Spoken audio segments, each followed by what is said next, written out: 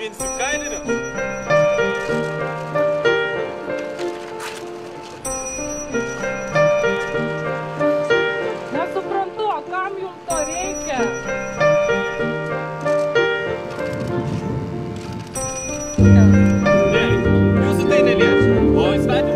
nepavyzdžiui. Taip kad atsikabinkit ir eikit savo keliais, gerai?